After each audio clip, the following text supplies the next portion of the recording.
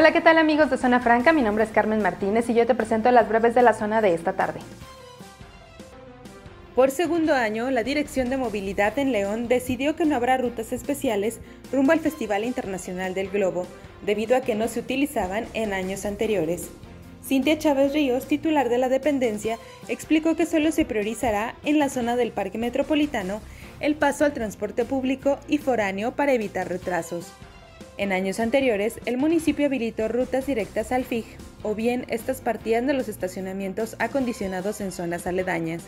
Sin embargo, ante la baja demanda, ahora se decidió no utilizarlas. De acuerdo a la organización México Como Vamos, en Guanajuato se generaron en el mes de octubre 42.317 empleos, de los cuales el 49.8% se reportan en mujeres. Lo anterior de entender que la generación de empleos entre hombres y mujeres alcanza cierta igualdad. Sin embargo, no es lo mismo respecto a las condiciones laborales y salariales. Las mujeres padecen con mayor frecuencia situaciones de pobreza laboral porque trabajan por una menor paga en promedio, dado que no acceden a posiciones de mayor rango. En distintos puntos de la ciudad, la mañana de este martes fueron abandonados dos cuerpos calcinados. De momento las víctimas no han sido identificadas por las autoridades.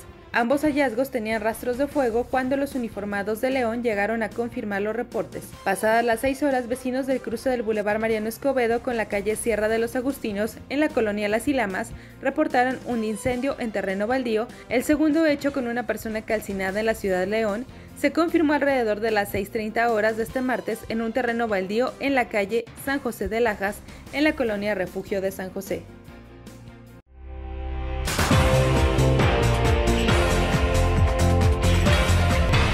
Quédate pendiente de todo nuestro contenido en zonafranca.mx y no te pierdas el siguiente bloque donde te tendremos información importante.